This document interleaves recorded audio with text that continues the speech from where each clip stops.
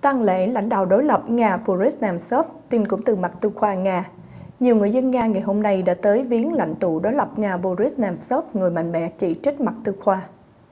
Ông đã bị bắn chết vào hôm thứ Sáu tuần trước tại nơi cách Điện Cẩm Linh không xa.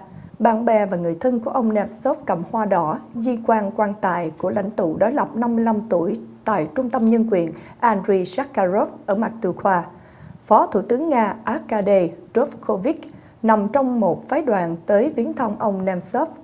Đại sứ Hoa Kỳ tại Nga John Teff và cựu Thủ tướng Anh Quốc John Mayer cũng đã đến tham dự.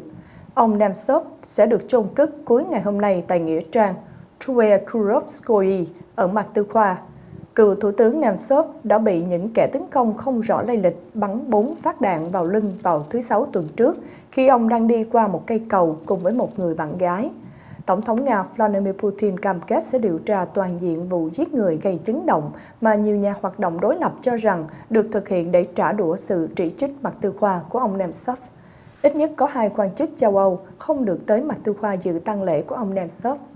Bộ Ngoại giao Ba Lan nói rằng Chủ tịch Thượng viện nước này đã bị bác đơn xin nhập cảnh vào Nga vì mặt tư khoa trả đũa cho việc Liên hiệp châu Âu mới đây đã áp đặt các lệnh trừng phạt đối với mặt tư khoa. Nga cũng không cho nhà lập pháp Latvia Sandra Kaniti, một thành viên cấp cao của Nghị viện châu Âu nhập cảnh. Bà Canetti nói rằng bà cảm thấy bị xúc phạm vì lệnh cấm nhập cảnh của Mạc Tư Khoa, nhưng nói thực sự rất tự hào khi bị coi là kẻ thù của Nga.